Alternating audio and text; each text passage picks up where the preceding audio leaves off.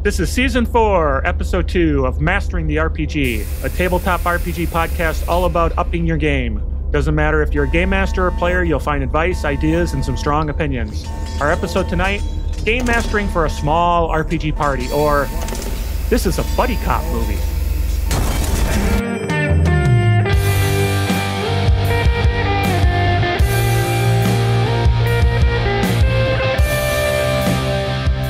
Hey, everybody, welcome to Mastering the RPG. Like I said, it's an RPG podcast. We like talking about games with ideas, cool stuff found, and we have a new segment. We'll get to that. Um, I'm Carl with my co hosts Eric and Chris. You'll find all the information about the show at masteringtherpg.com.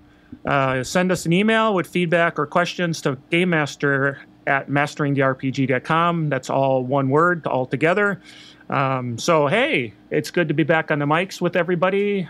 How is the gaming world treating you? How are you doing? What are you up to? Um, Chris, what's going on these days with you? What's what are you up to? I'm getting ready to go to Gen Con. I'm trying to Woo-hoo. remember who I have to talk to and what I have to do. Uh, I will be giving uh, Deadlands Dark Ages demos at uh, tables Thursday and Friday, I believe. And then uh, just a lot of meetings other than that. Very cool. Very cool. Yeah, Gen Con's nice. just and around De- the corner. Deadlands Dark Ages, that's like Deadlands in medieval times or something? or what's... Yes, it is. It is uh, oh, uh, back cool. in the, uh, yeah, whatever, the early thousands or something. Um, very UK oriented. Um, grim Cthulhu I would say. Oh, nice. Very cool. Very cool. So what you, what have you been up to, Eric? What's going on with your, uh, your head? nothing since last time. Uh, uh, I've had some birthdays, had some trips, so nothing RPG related so far. Just getting uh, finishing on my setting and getting ready to actually write the beginning part of the campaign. So looking to start this August for with people. Very cool. Well, I mean that's you, you. I mean you're working on it. You're getting close. August is just yeah. around the corner, not too far it away. Is. Not too far away. um, Impending. Especially yeah. when we got Gen Con coming up, so you know August is like right here. Um, for for me, I've been working on getting ready for the Tabletop Tango 200 episode numbered episode 2.5k celebration live stream, which you will be on with me, Eric. Um, so you've got that going on. Um, that's oh, gonna, that is true. Yeah. That's going to be the 31st at 8 p.m. When this show drops, I usually drop it on Wednesday. This will be the morning of that show. So if somebody listens to this in the morning, then maybe they'll think to jump on, but otherwise you'll have missed it already. Watch it in reruns on YouTube. So that's what's going on with me, and uh, sounds like there's some good stuff going on. I can't wait to hear what what happened at Gen Con. I'm missing Gen Con. I'm going to Gamehole Con, but I'm not going to Gen Con, so I'm looking forward to hearing what I missed and all the cool stuff. I guess we'll have some cool stuff found probably then coming from Gen Con. So uh, not to put too much pressure on your shoulders, but congratulations that you're that's your assignment. So great. I've been looking for cool something things. to fill the time. Yeah. so hey, I, I did allude to it. We have a new segment um, to go along with you know things like email, cool stuff found. It's called Creature Corner. And this is a spotlight on a creature, whether it's in gaming, mythology, whatever. We're going to talk about it, kind of use it, lose it, just have a good time with it, whatever. I don't know. Um, and we're going to start off with, uh, I guess, a crowd favorite, right? A bullywug. Bullywug. And so we're going to turn it over to the leader of this particular segment t- today is Chris. Chris, tell us mm-hmm. all about the bullywug. Ah, bullywug. These frog-like creatures, I, I, really like them. They are, are swamp-related. They uh, come up here and there, and, and the reason I think that they are uh, uh, quite useful, other than say like a goblin or something very common, is their origin and their society is a little bit less understood because they're less common, which means you can throw them in in different spots, or they could be good, they could be bad, they could be unknown. Uh, typically, using them in a swamp or wet environment. Uh, Haggy witch environment, uh, some grimdark stuff. Uh, I mean, really, there's there's lots of places. Obviously, aquatic, uh, so not cities. Um, but what about sewers? What about sewers? Sewers. Um, that's a good one. I mean, I didn't think of that one, but yeah, I mean, that, uh, uh, uh Bullywug away from home is a sewer candidate to be. I say.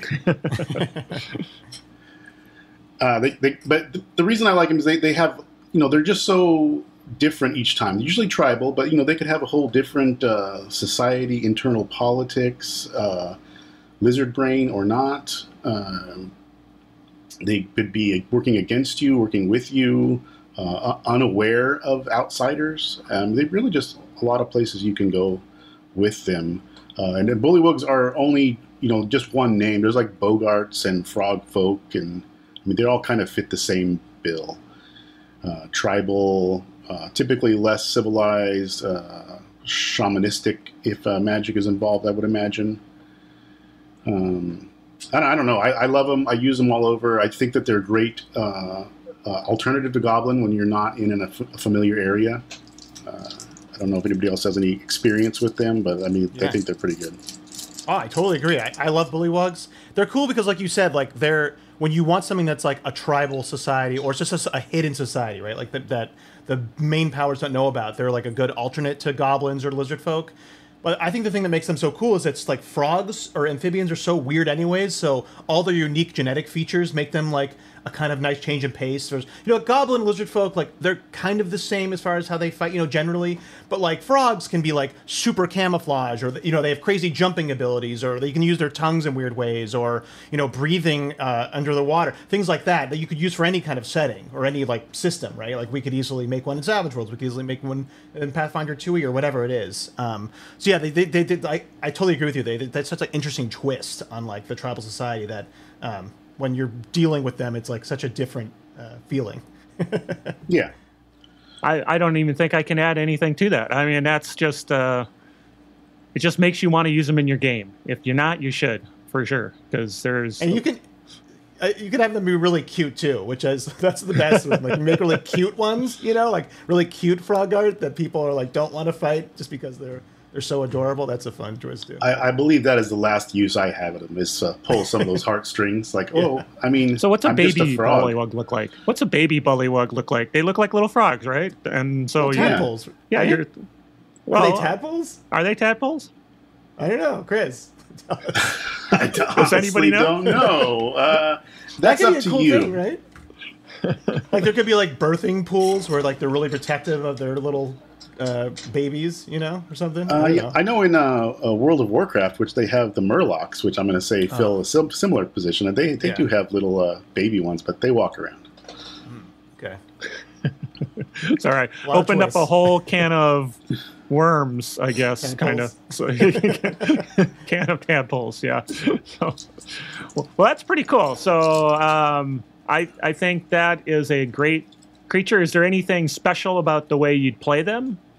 Um, uh, yeah, you know, yeah. These these are pretty good. I think like uh, they're good for like hit and run tactics, ambushes, like using that camouflage or or environment that they are so familiar with. Um, fog, rain, uh, in and out of water. I, I, think that they provide a lot of more interesting uh, combat too, rather than just like goblins or something. Very cool. Very cool. So, any uh, last last thoughts about the Bullywug before we move on? Good stuff. Good stuff. Use them in your game. They're cool. Yep, they are cool. That's pretty cool. So, all right. So that is the beauty of the bullywug. I, I just like saying it. Oh, Bullywug. That's a good, that's a good tagline. Like that's a good propaganda propaganda campaign for them. The Bullywug. All right, everybody. Well, that's cool. That's Creature Corner. Hope you enjoyed it. We're we'll do some more of those. Um, you know, with the different creatures that you might play in your game. But let's get right to the main topic.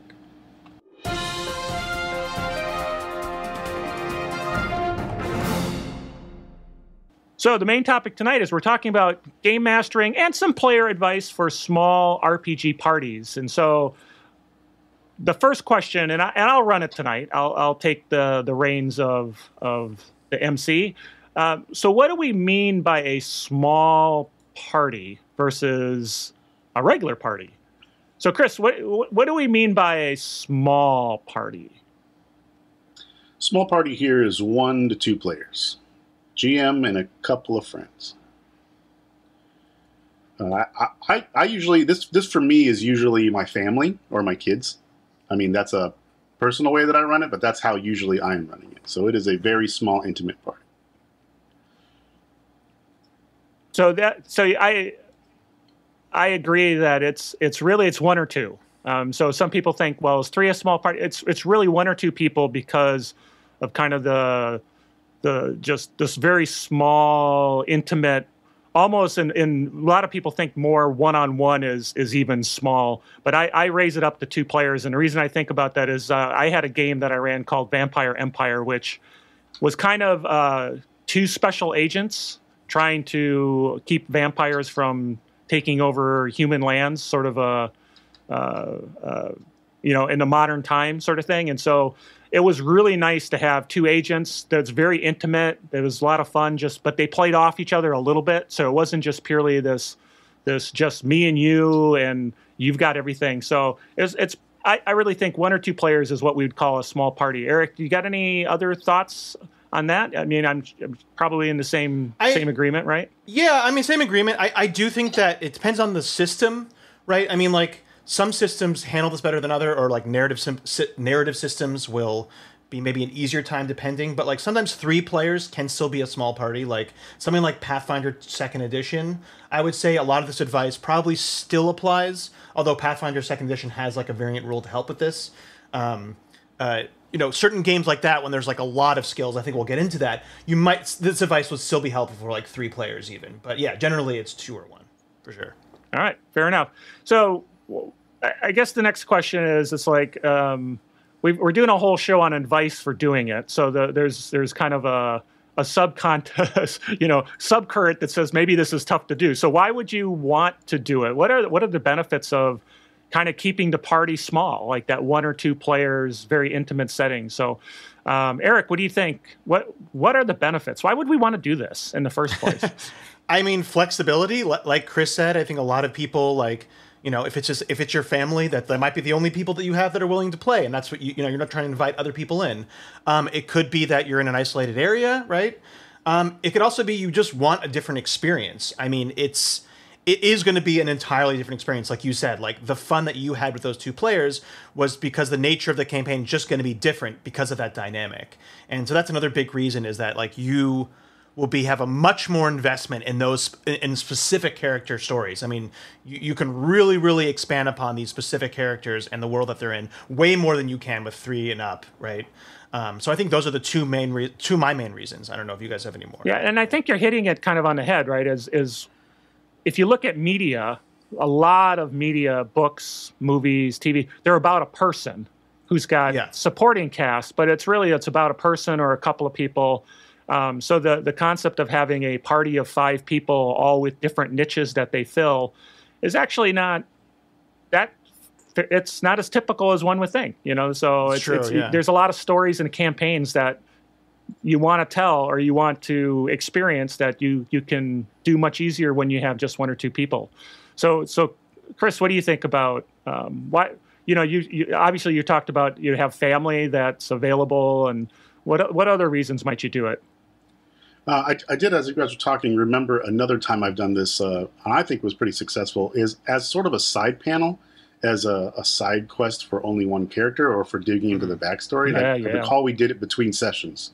So it was just me and one person, and we really we, there was some uh, issues with their backstory. I can't remember what it was, but we were able to flush that out to find resolution. And, and this was a time that character had gone away too. So we did this this whole little adventure. They went away. We came back, and there was new motivations, new information. Huh. Uh, new, new like re, re, uh, renewed vigor to play their character. It was it was actually pretty nice. That's cool. That that is yeah, that is I, cool. Yeah. I've also seen this like if you have time, you could almost do little mini campaigns for like each player before they actually come together too. Which I've seen that happen too. Like really flesh out some of their some of their backstory before they you know the, the meetup in the beginning of the main campaign happens. So similar to Chris's thing, I think that's another variant that can be applied to this. Okay. Yeah, and if you look at my my Discord backward, my Discord uh, history, a lot of it is exactly what you just said. Me and new characters going over their history before we do the first. Yeah. Uh, real session after session zero. Cool. That that is that is that is cool. Yeah, and I remember we uh, didn't we um, when we were doing the um, uh, the the Chicago Plex game uh, with the coins. Wasn't that just like a couple of players that everybody else was gone? Um, no one could make it, and it was just you and another person um, just going and running an Yeah. adventure and doing a couple of set. I think it was a couple of sessions to get through that.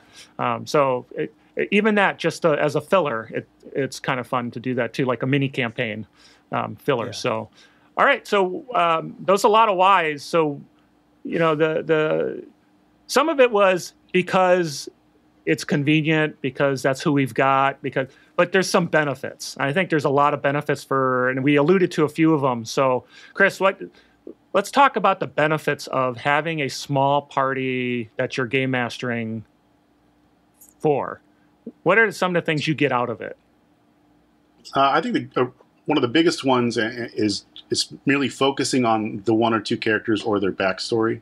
Like it kind of spotlights them. It, it it brings out their stuff without making anybody else feel like they're sort of getting left behind because there are less people waiting on the side. Uh, let you dig into that, uh, dig into them, get even get help them get a feel for their character because they are actually getting more face time or more speak time. Um, mo- mostly like you know from my point now is, is just just character story, character arc, intimacy. Uh, those are the big ones for me. yeah i, I think um, the the intimate part of it is you, you kind of you hit that is it's a very um, it's a very visceral right it's just you and one person potentially role playing each against each other bouncing off it's it's it's very it's it's almost more personal than sort of a group of of players um, you know i i you know i have I remember this Vampire Empire game. There was the players ultimately went in front of a Senate committee, and it was just it was just this most intense emotional thing as they were testifying to this panel of of guys who were trying to, um, you know. Uh, they didn't believe vampires were real, and these guys were trying to convince them that there's good vampires in the world and all that kind of stuff. And it was just, it was just so visceral. I mean, to think that a Senate committee meeting would be that much fun, but it was just because it was just them and me going back and forth. So, uh, Eric, what do you what do you think of, of some of this? Yeah, I mean, as you said before, I think I think a big benefit of, of it are- is that it opens up so many other types of stories. Like you said, like when we look at media, most books, most movies, most TV shows are centered on one person or two people as the main character, right? So there's all of that type of storytelling that is kind of not there. You know, it's always the kind of same dynamic often with these games when the, when these party of people, right? Um, and what we love that, but it, you are missing a whole segment of it. Um, and you can also play with things like giving those people more power. You know, when when I've been in larger games where it's like the GM you know, does stuff like if it's an isekai type game or something, or wh- whatever the reason, they're like giving you extra stuff, like tons of extra items or extra power ups. That stuff unravels quickly. But the games that I played where it's been smaller and that and they give you the extra stuff, that flows much better. So you can also play with games where you are, um, you know, super powering up the main characters, basically the, the players, because it just will flow better with a smaller party. Um, that's another benefit I see. And uh, another one I want to talk on that's kind of what Chris was talking about, but even beyond like get, getting to the backstories, just just the role playing. If if it's with players that enjoy role playing, then that is going to be a very rewarding experience. Um, you, you don't have to as much.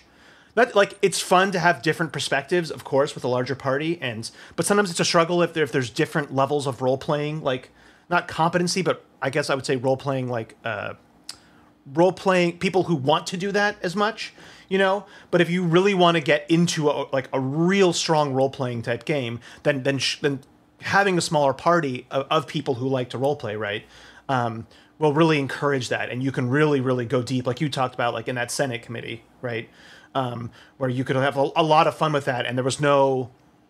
There was no having to worry about other people. I think we, we've touched Yeah, on this. yeah. There wasn't there wasn't like a fighter sitting, you know, the guy who's the shooter, Yeah. sitting on the side Being twiddling his thumbs because these two people were talking constantly, talk, talk, talk. No, it- everybody was involved because there was only two of them to be involved, um, and to go back and forth uh, on things. Um, and and in that game, it's also another thing is it, it went really things went fast. That's the other side of it. The the the story moved quickly because there was very few people making decisions. One or two people they make the decision, they decide what they're going to do, and things move fast. There's there's not the five people arguing which door to open and you know whether they're they're going to go here or go there or what have you and and one five are going two are going shopping three are going here and two are it's like we're going to go do this and in this game that that was a big deal in the vampire empire because it's like oh i'm i'm going to go here okay we went there we got something done and now we're back together and we're ready for the next the next challenge so that can also be a benefit and it's also a challenge, and we'll get to that in a second too. So there's a there's a other side of the coin to some of these uh, these items. So any any other benefits that uh, you guys can think of that um, you know obviously like we said story intimacy everybody gets spotlight. Um, we get the focus. I, I, think we alluded to we really get the focus on the character's backstory. There, it's front and center each character because that's where you're you don't have to feel like somebody's not getting their story told or their arc because it is the one player and you can really mine that story and and and do that. And we talked in previous episodes how lots of times Eric you do a really good job of your backstory. So very often your story is more front and center than maybe some of the others who don't write very write backstories. Some of folks don't even write backstories. And so here it's here it's, you don't have those other players who are kind of coming along for the ride. Everybody's on the ride for for real. So, um, all right, cool. Um, so I, I, alluded to it, and so there, there's challenges though, right? So this is there's a lot of fun. It could be a very rewarding experience. There's some benefits, but there's this is a two-sided coin, and there's some challenges that come that come part of that. So, Eric, what what do you see as some of the challenges that a game master would run into when we start talking about a small party of one or two individuals? Uh, I mean, number one, it, which is the biggest one, probably, is they're not going to be well rounded. I mean, it depends on the, the type of system they're using. Like, I think a more narrative system, this is not as big of an issue. But more mechanical systems like D and D or Pathfinder, even stuff like Savage Worlds, you're just not going to have a well-rounded party, and you can give them you can give them more like what I said power as far as like in combat power, right? But as far as character roundness, like being proficient in the different types of gameplay, that's always going to be a struggle. And if even if you artificially like, okay, you just get more skills, it, it might not feel right because what, the, both of these characters are just like ultra power Mary Sue's that can do everything, right? That's not really fun either in that way. So I think that is a huge struggle is how do we deal with, you know, not not again, not like how do we deal with combat because you can as a GM you can scale combat you know to them or you can provide allies or you can provide um, you know giving them power ups in that way but as far as them making more rounded you know it doesn't just work in my opinion just to like okay you guys all get more skills because it, it just won't feel right it won't make sense it won't be most of the time won't be natural to like a true character uh, concept, right? Yes. So I yes. think number one, that is like the big, that is the big one. Uh, clouds written in the sky, right? Uh, yeah. because a lot of games require niches to be filled, right? I mean, you know, D and D classic is a classic one, right? There's niches and they need to be filled, and if you've got, you're not going to have a fighter, cleric, magic user, thief character. you, you could, I guess, but you're not probably going I mean, yeah, to. So. E- even with like Gestalt, which is I think what say in D&D and Pathfinder, which Gestalt is when you basically take two different classes, if we're talking about a class-based system, and smush them together, right? Pathfinder and D&D have rules for that. Um, it still doesn't totally help as far as like, you know, skill breadth. And I would, and, and even like breadth as far as the type of characters you are and the situations they can handle and role-playing, right? If you, like, your character might be a gruff kind of uh, loner, and the other character might be just super like a noble who's very like prim and proper, but you're still missing out on even character types. So it's still filling in that void as far as just like the type of situations they might encounter, or you know, having it be different every time they encounter something. I think that does that make sense? Uh, yeah. Yeah, yeah, yeah, yeah.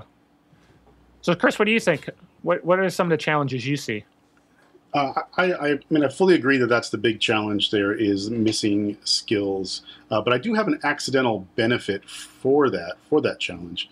Is if, if you are doing these uh, small groups as a predecessor to a bigger campaign, then as they are figuring out how they pick locks without lock picking, or you know, do magic without having magic, when they actually do into the party later as you get to the main main campaign, they will then have you know well my character used to do this to solve these type of problems and now i'm working with a team and there's a person for that but i got to reconcile like just smash the door down with my axe versus let the thief pick the you know, pick the lock. So at least it gives some kind of character flavor you know over the over the course. Oh very cool. Yeah yeah for sure for sure. Um, so I, I think we did hit upon this a little bit, and I think uh, we talked about the intimacy, how you know there's a lot of RP, and you can really go back and forth. Um, but too much spotlight can be a bad thing, right? You don't get a chance to rest. You know the the because um, let's say role playing can be very emotional, right? It can be very takes a lot of a lot of emotional energy, and you get you can get burnt out. You don't have a chance to sit yeah. back and let someone else take the spotlight for a while. Um, you know, the, you don't have that opportunity.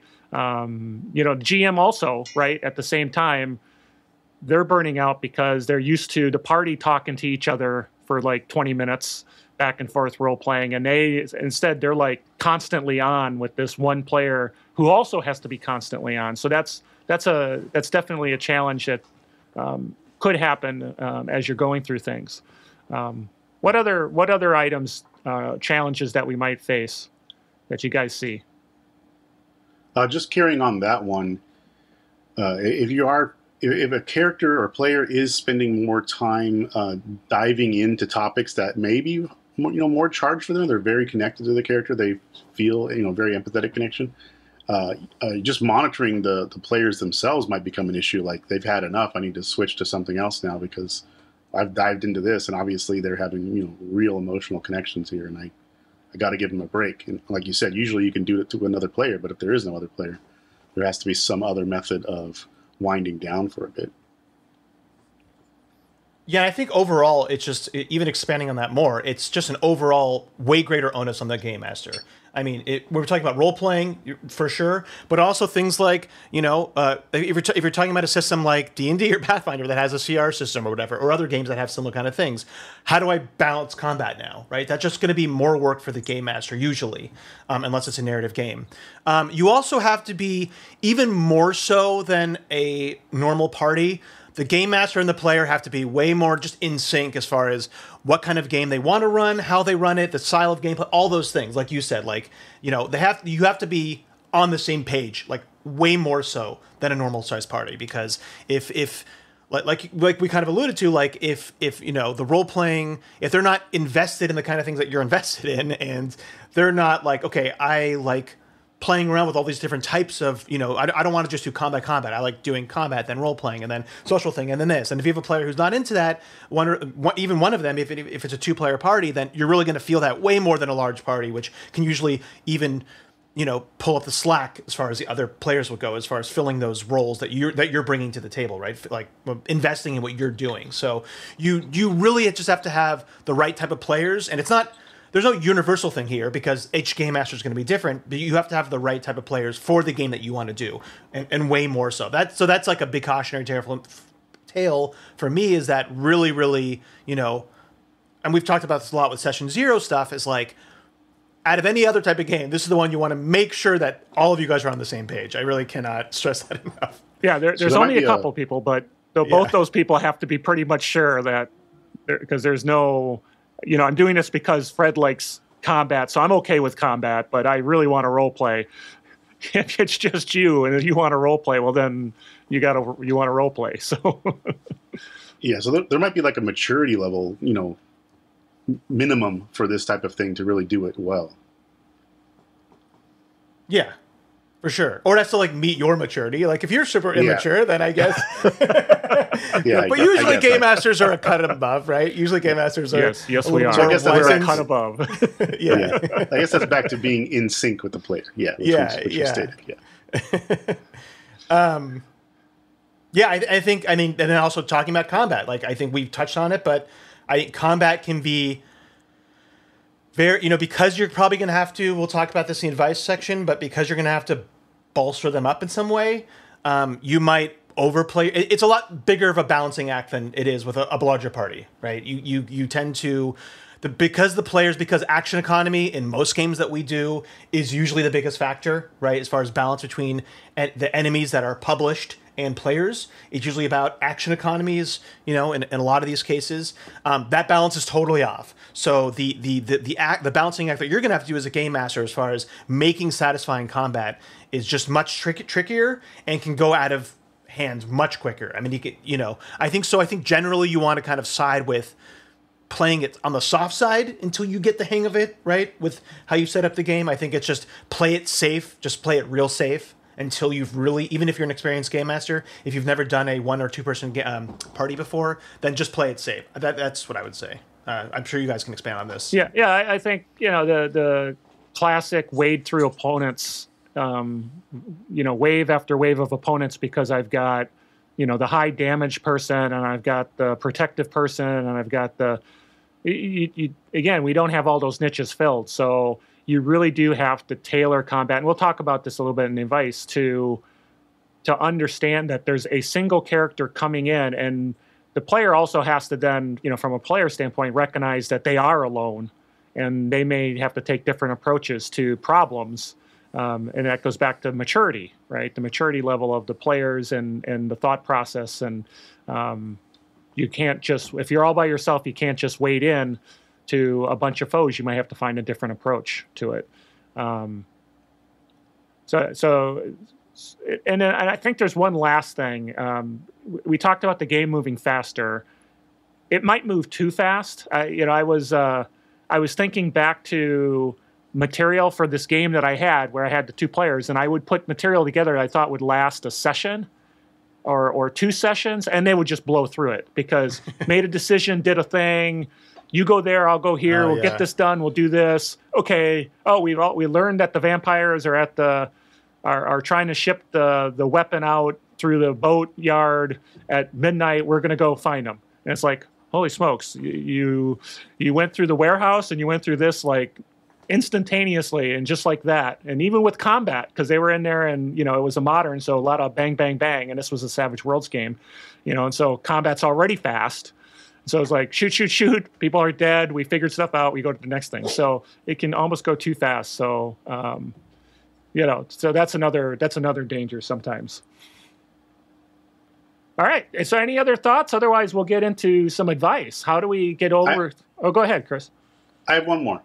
Uh, some of the abilities for the characters may not be useful in a single player uh, party, such as mm. Support roles or uh, abilities where you protect an ally or something like that. So that's just something to keep in mind is that uh, you don't want them selecting abilities or spells or whatever that they're not going to get to use.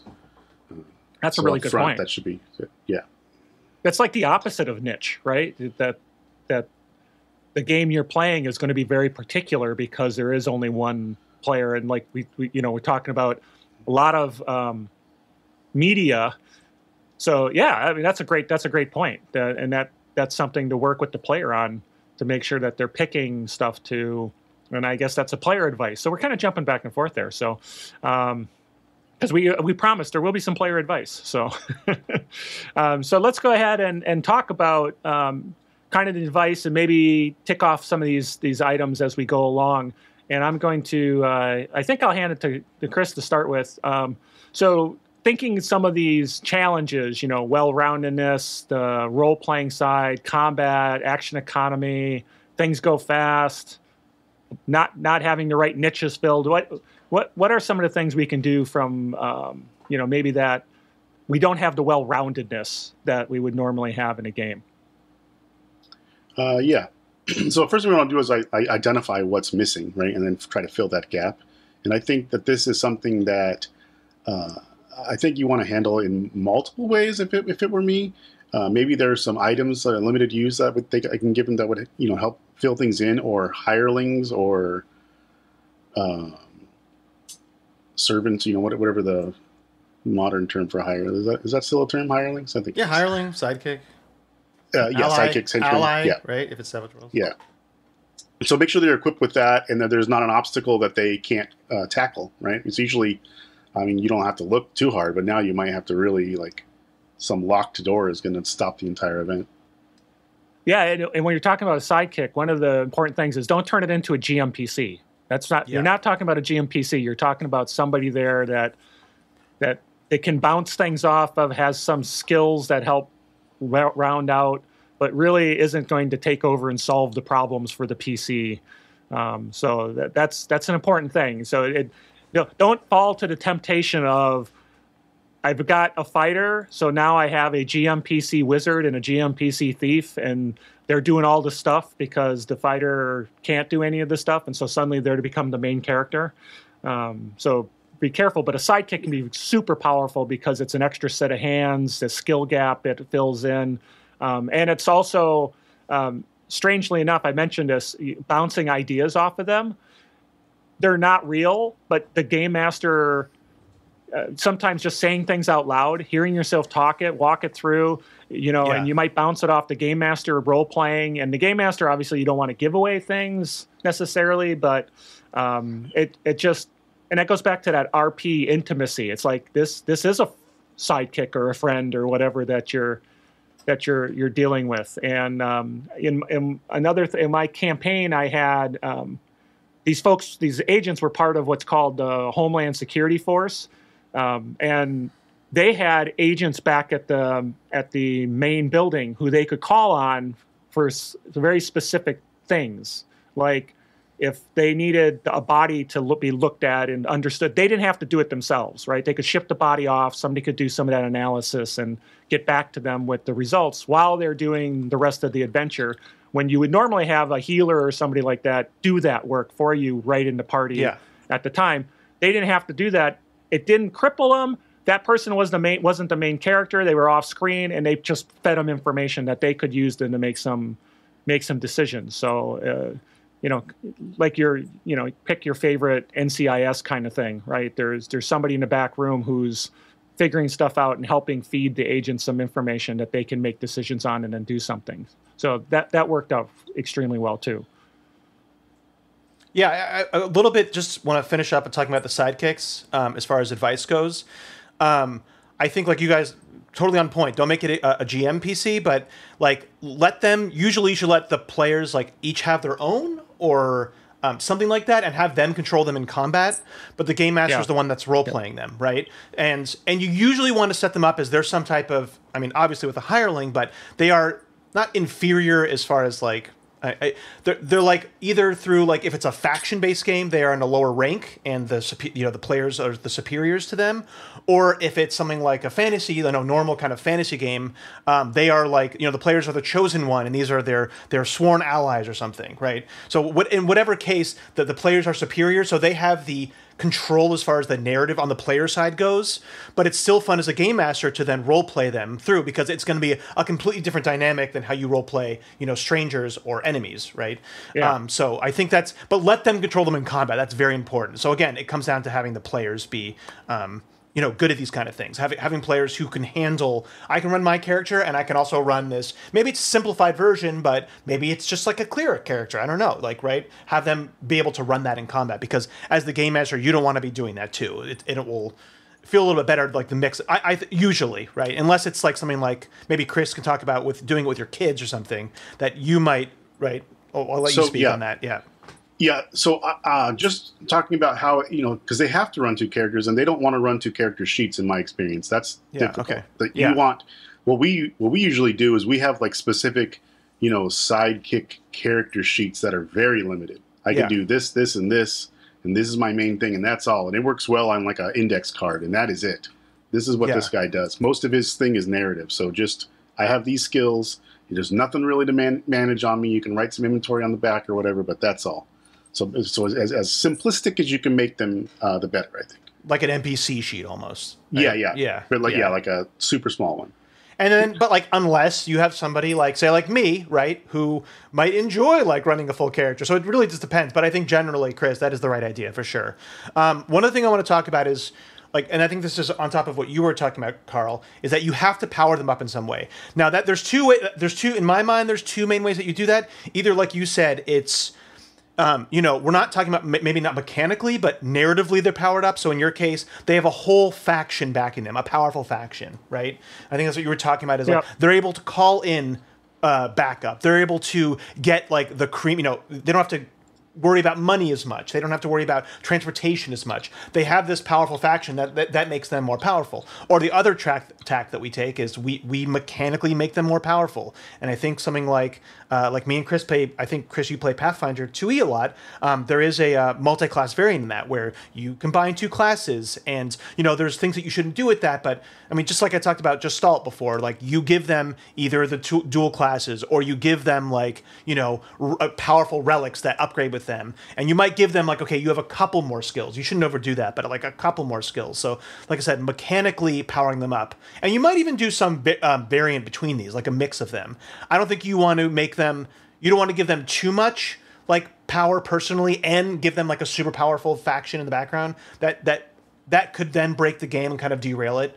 Um, but like a good uh, a good balance between those is is probably the best way to do that. Like if we're talking about the the chosen one in a fantasy world, you know, they're they're just better than the people around them. They're they have they have they have a couple extra attribute raises and a couple other you know more spell slots or something, and then they also have the backing of some church or something or a, a nation. But they're not like you know really in the ranks of some faction. They're still independent. So I think you can play with that a little bit, but you definitely want to empower them in some way for sure. And then the one last thing I'll say to that, and this is tricky, but it really depends on the, the system. Um, sidekicks help with that, but like I said before, the, the main issue is often action economy if you're playing outside of a, a narrative game. Action economy is going to be the main way, the mechanics, because games are written with that balance usually in mind. If we're talking about Savage Worlds, D and D, you know, a lot of these mechanical type games, uh, action economy is the thing. Um, but you can play with that. You can give them like tokens where they can play an extra turn, or you can call them whatever you want. Um, like outside of Bennies, if it's talking about Savage World, they have a special token that gives them another turn, or they might give them like their ability is they get another action, right? It could be that simple. That could be the way they're powered up, um, and you can narrate that in different ways. But also look at to playing with action economy and, and powering that up in some way depending on the system.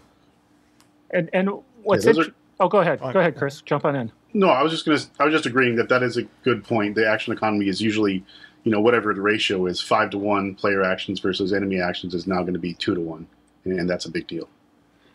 Yeah, and, and I think, uh, kind of even a little bit looking at it from a different angle, uh, you can now maybe change the way the game thinks, because um, a single low-level creature becomes much scarier to a single character than a party. So now think of yeah. the kinds of games you can play where you've got a single like werewolf bothering a town.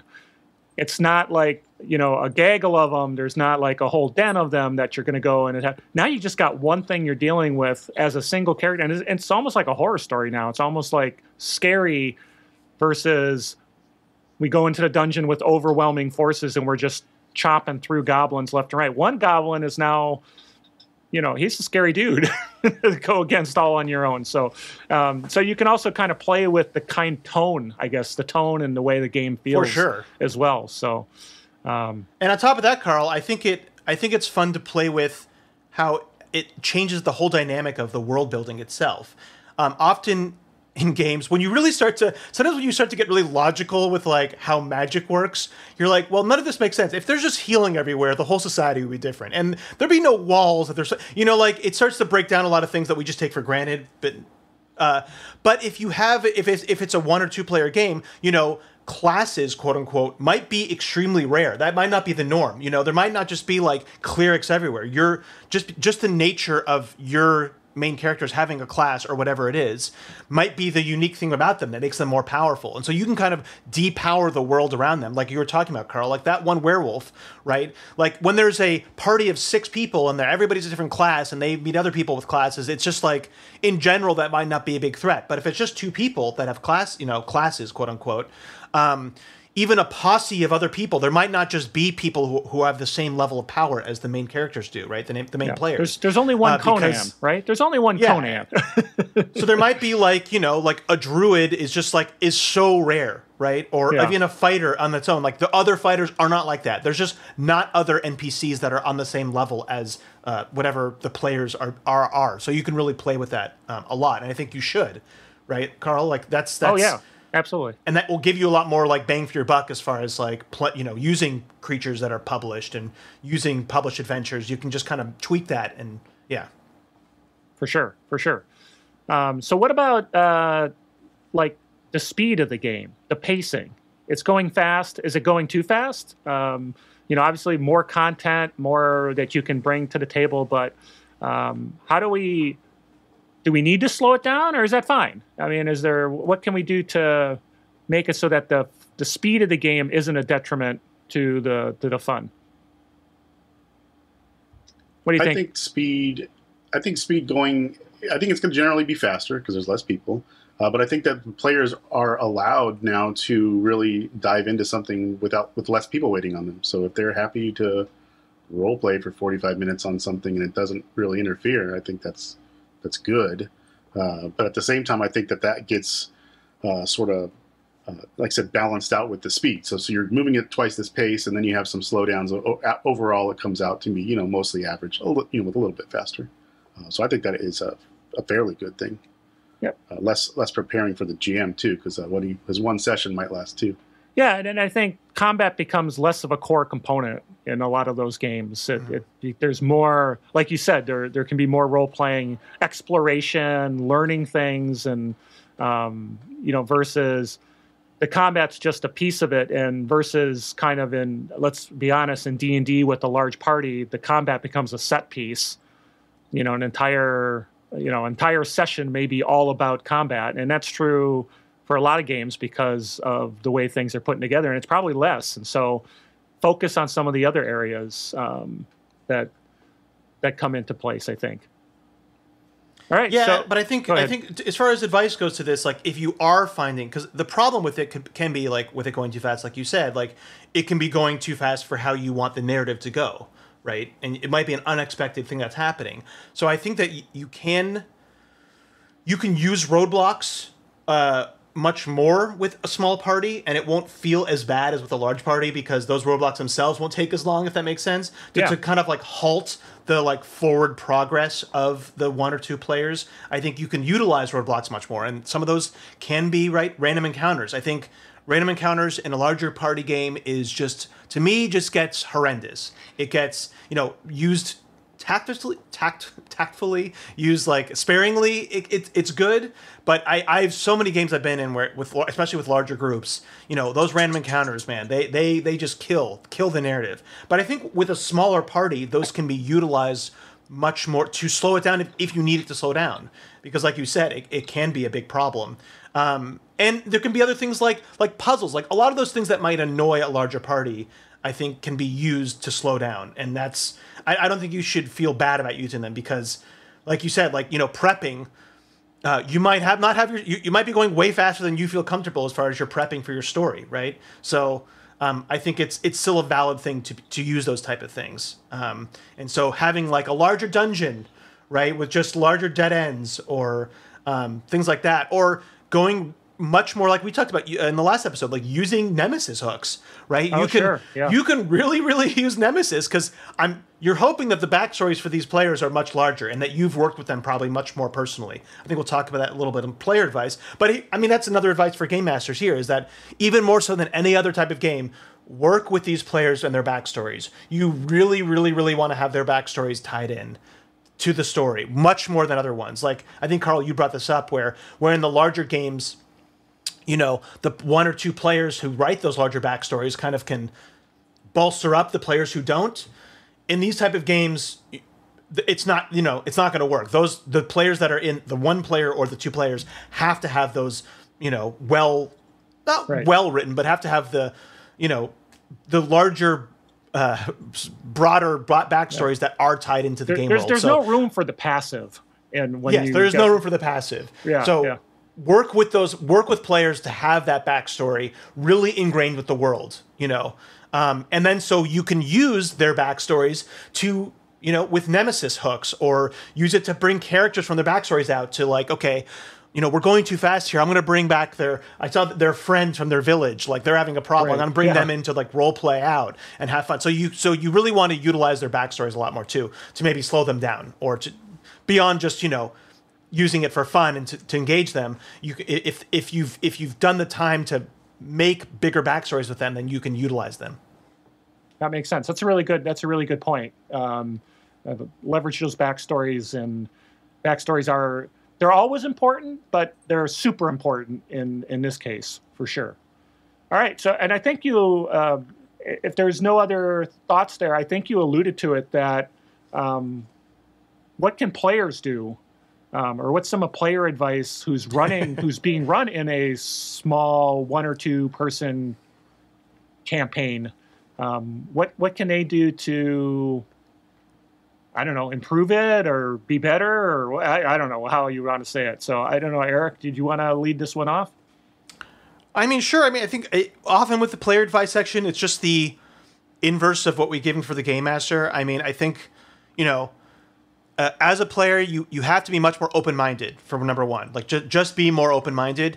Be open more minded to trying different things that you normally wouldn't do in a game like this. Like uh, you know, going different directions that you might not think to go.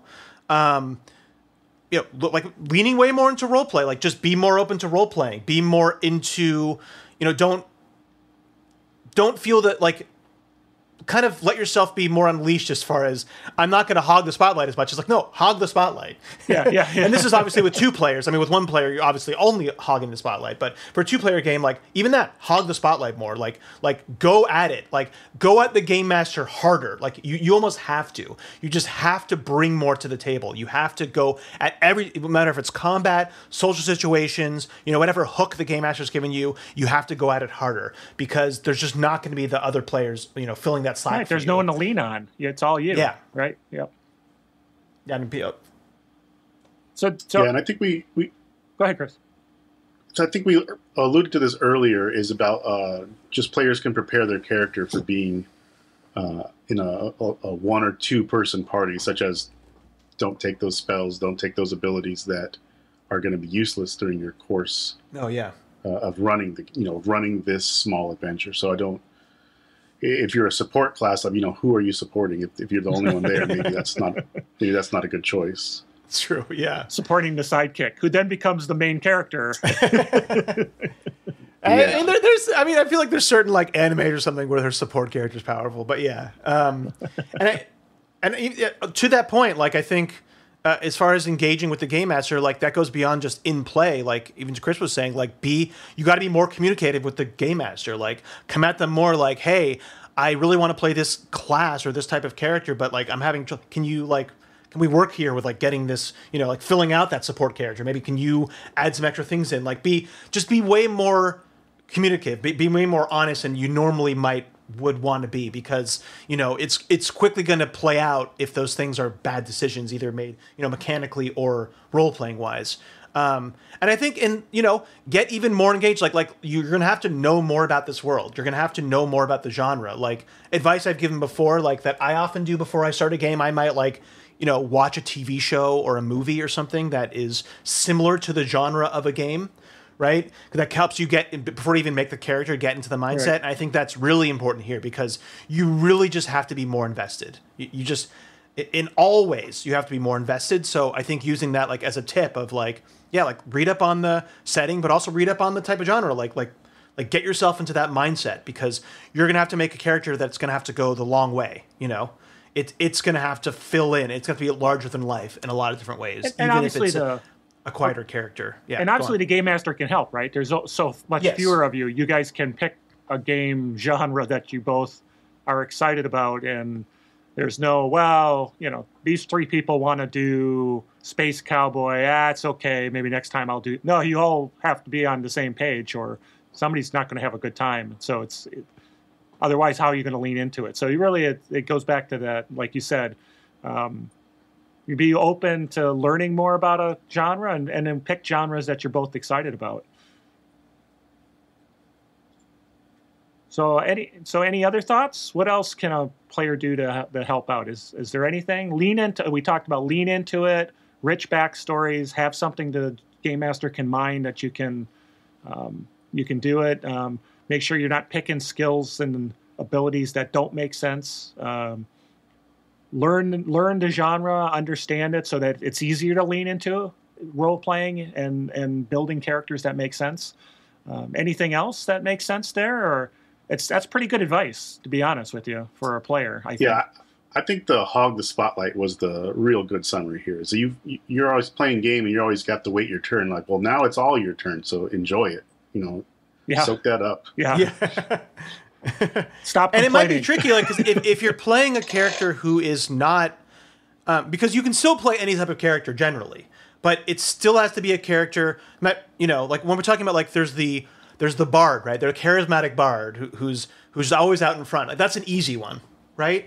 But if you're still playing a more kind of introspective, scholarly character, you're still gonna have to stretch that concept a little bit more. Like that, whatever character you have to play has to fill in uh, has to fill in more. So um, just think about like, well, how do I make a scholarly kind of more introspective character, more um, you know, uh, ex- introverted character, be that way?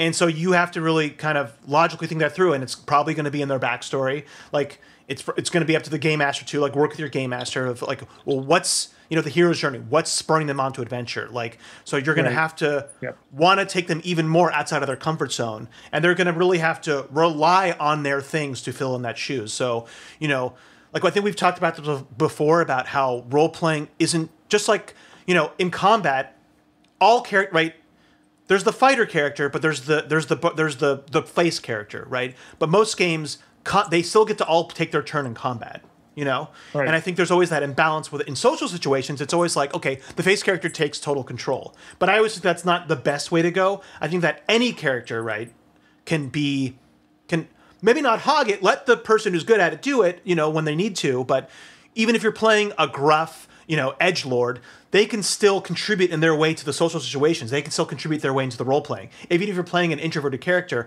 they can still role play they're just doing it differently. And i think that's the thing that you really have to lean on as far as a player in a one or two person game is that how do i make my you know scholarly intro- scholarly introvert take the lead in maybe social situations? Because that's I have to. So you think about your approach. So you really have to lean into, well, I'm using my knowledge and logic to take control of social situations. And I think it's something you can work with your game master about, but it does require you to stretch of like, well, how do I, you know, think about when you're making your character, how do I accomplish them, but not just in combat or, you know, in what they might be good at, like a wizard character in a um, lore check or whatever. Like, how are they going to approach um, social situations how are they going to approach exploration challenges so that's something to like almost do like a workshop in your mind about you know as far as like making this super well-rounded character as far as uh, their personality goes if that makes sense That makes total sense. Makes total sense. Well, very cool.